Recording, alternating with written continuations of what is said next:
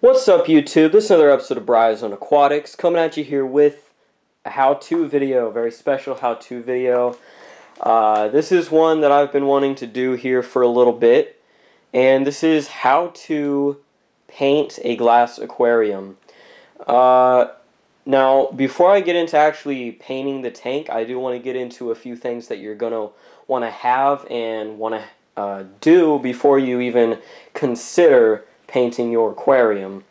Uh, so first things first, obviously you're going to want spray paint. Now there are actually some rules as to spray paints that you do and don't use. Uh, I, for one, really like to use this stuff, Krylon Color Max Paint Plus Primer. Uh, it, this is a good paint. I've used this to paint I believe, four tanks now. And it holds up really well. It looks good. And uh, it really it covers quite a bit of ground just for this one little bottle. Um, now, here's the... What's up, YouTube? This is another episode of Bryozoan Aquatics. Coming at you here with a how-to video. A very special how-to video. Uh, this is one that I've been wanting to do here for a little bit. And this is how to paint a glass aquarium. Uh, now, before I get into actually painting the tank, I do want to get into a few things that you're going to want to have and want to uh, do before you even consider painting your aquarium. Uh, so, first things first, obviously, you're going to want spray paint. Now, there are actually some rules as to spray paints that you do and don't use. Uh, I, for one, really like to use this stuff, Krylon Color Max Paint Plus Primer. Uh, it, this is a good paint. I've used this to paint, I believe, four tanks now. And it holds up really well. It looks good. And uh, it really it covers quite a bit of ground just for this one little bottle. Um, now, here's the rules per se of what to and what not to buy as far as spray paint goes. For one, don't buy uh, anything that says anti mildew or anti mold or uh, anti dust. None of that, just plain old, nothing uh, added to it, just plain old spray paint. Because if you get spray paint and it has the anti-mildew in it or anti-dust, whatever it may be, if that gets even a little bit in your tank, that is going to completely screw up your entire system. And I kid you not, it will actually make it so the tank will physically not be capable of going through a cycle. So from there, your tank is basically screwed and you're going to have to toss it or uh, go through hours, hours, possibly days to scrub that whole area, clean the tank, do this, do that, test the tank, and add test fish and whatever. So that's just all stuff that can be avoided. I'll go through other steps on how to do that. Uh, but that's the first one. Uh, if you want a good, clean, black color, uh, because I'll get into different colors and why different colors are important a little bit later in the video.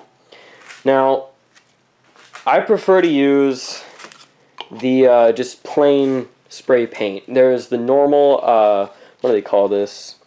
Satin. Just plain old satin black.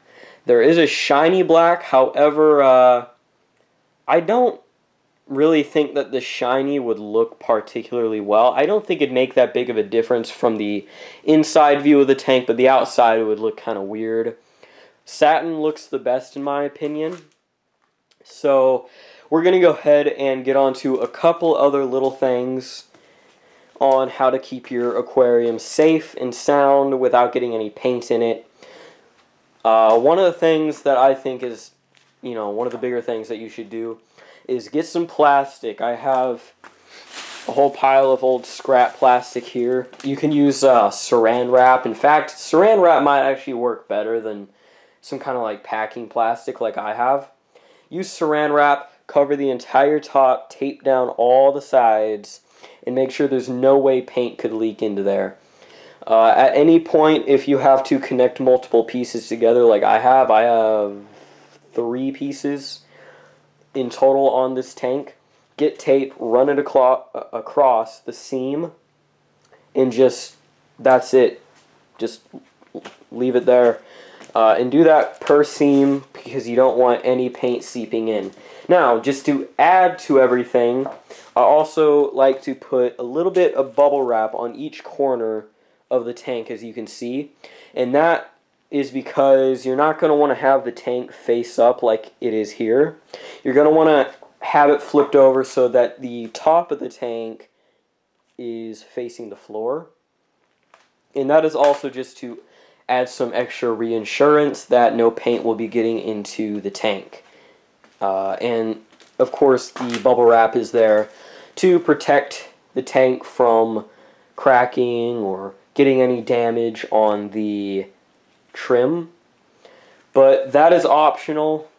Uh, if you don't have saran wrap or any kind of plastic that you can use, uh, put some cardboard on the top. That just, you know, that works just as well. I prefer to use plastic just because it's a lot easier to size to the tank that you're using. Now the tank that we're painting today, we're going to get into painting here in just a second is my 125 gallon. Uh, benefits of painting a tank if you are a photographer, you like to take pictures of your fish. Painting the tank black makes that a lot easier. It reduces the glare, it makes the color on the fish look a lot better. It's just, it's really nice. Uh, it may, it's a lot easier to make show tanks too, because assuming you have, you know, maybe it's in your living room and you have like some green paint in your living room, that's going to look pretty bad behind the tank. So if you spray paint the tank itself, you're not going to have to worry about that issue. And like I said, it does make the fish's color look better. Uh, now, speaking of specific... Okay, almost forgot. There's a couple more things you need to do before you start painting your tank. Uh, after you flip it, and the top is now the bottom. You are going to want to get uh, packing tape. Don't use any other kind of tape except maybe duct tape would be good. Just any kind of wide tape and get it, put it just like I have here so that it is uh, facing, I don't know, like, this is the side I'm not painting, okay? And then all the other sides I am painting. You need to make sure that you face the tape in ways where it will prevent any uh, paint splatter or dust. You know, just keep it away from the front and it'll help do that. I do that I get the tape, I put it on the front of the tank on the corner like so. I get one really long piece and put it across the entire bottom and I do the same thing that I do here over there on that side.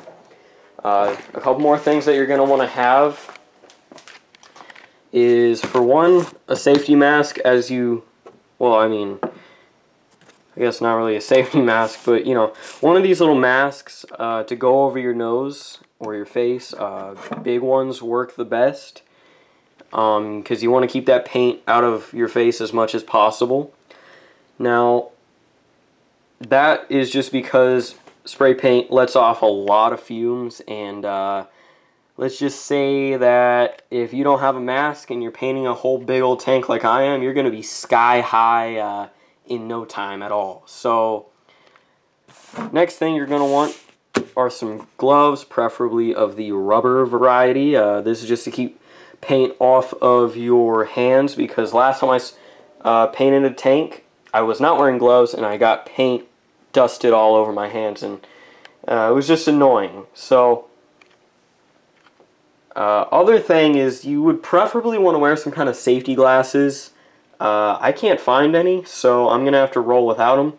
But just be careful if you don't have safety glasses because if this stuff gets in your eyes, uh, odds are you're going to be blind for a while. So with that said, let's actually get on to doing some of the painting. Alright, so we're going to start up some of the painting now. Uh, I'm just going to go through the basics with you just so you know exactly how to do it, what to do. And then we're going to get onto the time-lapse footage where I'm actually painting the whole thing. Now, just get your spray paint. Shake it up real good because you need all the primer and paint mixed together. Otherwise, uh, it's not going to look the best. Uh, and what I like to do, I mean, everybody's going to be different on how they want their tanks done, but I like to paint the like top sides, bottom sides, uh, and the sides first, uh, just because I think it makes it easier to get all the ends done and you know do that. Uh, I always start with the back of the tank because that's the most important side that you're going to be painting.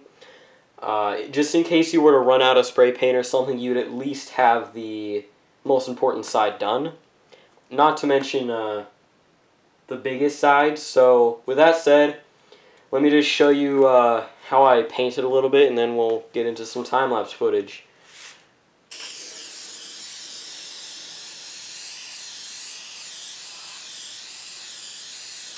Now you are going to experience some dripping as you see there. Uh, that's not a big deal. You can wipe it off. You can leave it. In the end, from the inside the tank view, it's not going to change anything. Uh, it looks just the same. Um, if the paint gets on the trim, that's no big deal. I doubt anybody's ever going to notice. But if you are, uh, you know, if you don't want it on your trim, just put some scotch tape over it. It'll be fine. So, let's get into a little bit more painting here and then we'll continue on.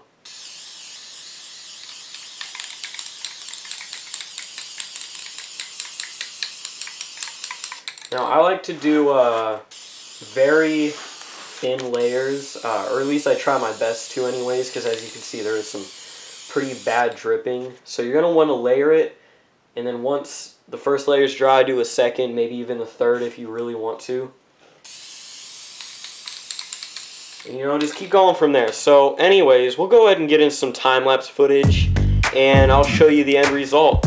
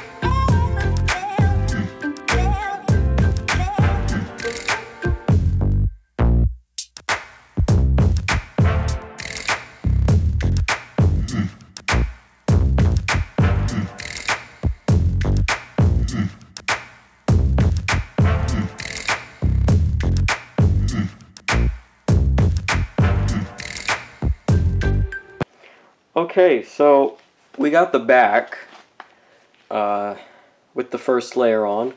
Now, whenever you first start applying the spray paint, you are going to notice that there are some kind of, uh, you know, there's a few patches that are pretty thin in paint. That's normal. You're going to run into those. Odds are you're going to have some of those that are just really hard to fix. Um, but in the end, really, it, uh, it's not noticeable very much. But obviously the layers will help. If you have any that's in like right in the middle of the column of the tank, you know, like right there or something, you're going to want to take care of that. But where it tends to happen most common is up there by the trim and down there by the trim. And nobody's going to notice that. So don't worry too much about that, but, you know, go ahead and fix it. I like to fix it.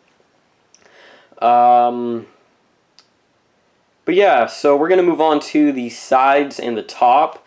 We're going to do a little bit of layering. And yeah, so let's get to the rest of the video.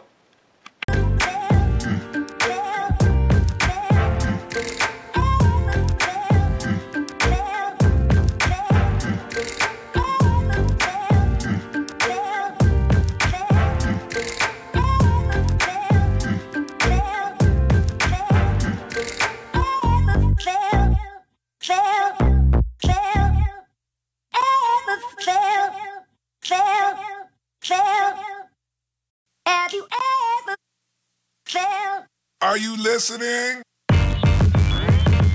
Damn.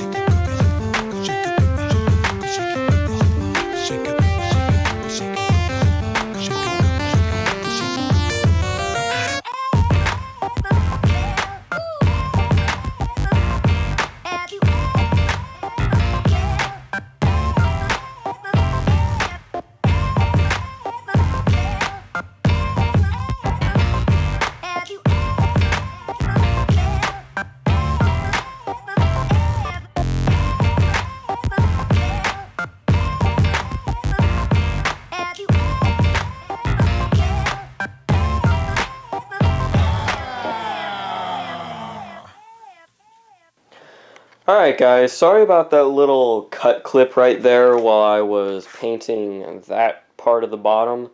Uh, while I was filming, the camera died without me noticing, so I finished that whole thing without even knowing uh, the camera died.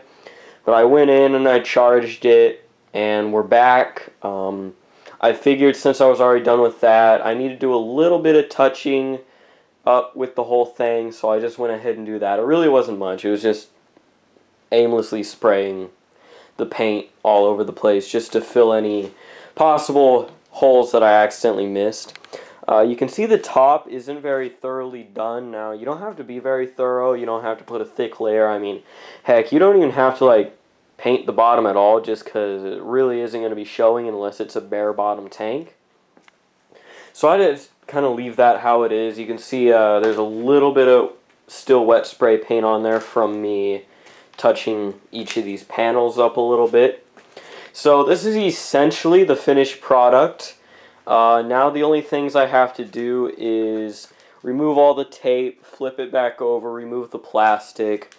Uh, be very thorough about checking if there's any spray paint that possibly got in the tank or on the front panel. And then move it inside, put it up, and that's it. I just have to actually do the actual setting up of the tank after that. Uh, and from there, it's all smooth sailing. You know, it's just whatever, really. Um, so next clip I'll be showing you here is the tank actually in the house, uh, put up onto the stand. Um, I'll throw in a couple more you know, just general tips here. Uh, do a, I guess really just do a rundown of everything that you're going to need again, just to make sure that y'all, you know, have it double checked here. So, mask to keep the fumes away from your nose, so you don't, uh, you know, get yourself high off of paint unless you want to, whatever. uh, gloves because you do not want to get the paint on your skin. It doesn't harm you. However, if you plan on doing any tank maintenance uh, or anything like that, you really need to make sure that your hands have none of the spray paint on them. I mean, even the littlest bit, this stuff is very toxic to fish. Uh, so just be careful with it. Um, now, I actually do want to run through a quick little mistake that I made. Uh, if you noticed whenever I was painting this side panel right here, uh, the clip did kind of stop and then I restarted uh, actually a day later because as some of you may know I do all my filming late at night so I don't have to uh, deal with any family members or anything uh, messing up my videos or any noises. But I was painting uh, with my original bottle that I had from painting a couple other tanks, just leftover paint. Started using that. That ran out while I was doing that side. And I started using this. Uh, this is actually different paint, same brand, same general kind, uh, same color even, but it is uh, flat and not, um, it's not, hold on, let me, let me go ahead and grab the other can here. It wasn't the satin. Now, I just want to stress the importance of this because, let me just put the camera down here real quick so I can open this bottle. Uh, now, the importance of this is really just, honestly, the uh, satin. As you can see, the satin is actually like a dark black color, like it's an actual black color. However, this stuff, the flat, make sure you shake it up real good, just to prove that it is mixed well and it's not just me messing up. Spray it. You can see a lot of stuff around the sides is very clear, almost as if it's spewing out water. The actual color is not black, it's actually, uh, it, it looks dark gray now because it's uh, wet. But if you come over here, this is some that I sprayed earlier, it turns light gray. So obviously I could not paint with that. It would just make the tank look like crap. So be very careful. Read the labels. Don't be an idiot like me. Make sure it says satin, not flat, not gloss, not semi-gloss. Satin. That's the stuff that's going to give you the best results. So, really with that said, I mean, I really don't have anything else to do. Just removing the tape here. You might get a little bit of broken pieces of tape on the trim of the tank. You might have to scrape that off. You can see I just have one really big piece that's stripped across the whole uh, trim of the tank there. And, you know, just peel all it off nice and normal. You don't have to have some fancy technique for stripping that off. And then really after that, and after I take off all the plastic on the bottom, I'm done. I just got to move it inside. So with that said, let's go ahead and go check out what I got going on inside and whenever this tank is moved in the house. It'll be a split second for you, but it's, uh, it's literally going to be about a day for me. So have fun. Make sure it dries, actually, this stuff. The bottle says dries in less than 10 or 10 minutes or less, but honestly, I found that about half an hour or more is usually what it takes. Although that could just because uh, the thick layers that you have to use on a on an aquarium. But anyways, yeah, give it about you know just leave it out overnight. You don't want to move this stuff in immediately, anyways, because uh, the fumes you need to let it fume out. Otherwise, you're going to move it into your fish room, and then you and all your fish are going to be high off of uh, paint fumes. So, anyways, I'm going to stop rambling here. With that said. Let's go check it out in the house. I'm going to start adding gravel, filters, this, that, and I'll have this set up and ready for the, uh, the Trimacs soon. So we'll see if I can get those in the fish room uh, relatively soon. Alright, so here we are. This is the painted 125 gallon. Uh, as you can see, there's a little bit of hard water stains on the front, dust in the bottom. That's that's fine. I'm just gonna have to clean the bottom, vacuum it, and everything. Uh, hard water stains won't be a problem. You're not gonna be able to see those once the tank is all filled. But uh, yeah, I mean that's it. It looks pretty good. It's gonna look even better once it's filled. Got a little light on here now.